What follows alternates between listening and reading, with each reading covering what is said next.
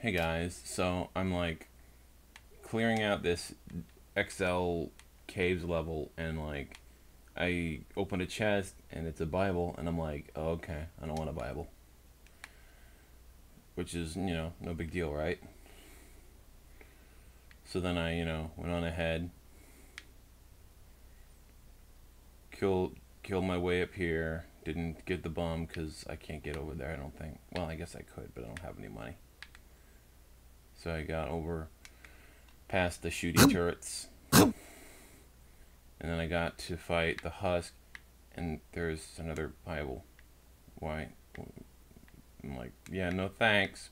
And then I fought that giant tunneling dude that tunnels around and spits waves of blood and shit, and and it's another Bible. What? What? What's going on here? What what's going on, Binding of Isaac Rebirth? Are you uh you have you been buddying up with Ray Comfort when I'm not looking? What's going on? Why do you got to do with this? I don't I don't want a Bible. Quit trying to get me a Bible. What are you doing? Stop it!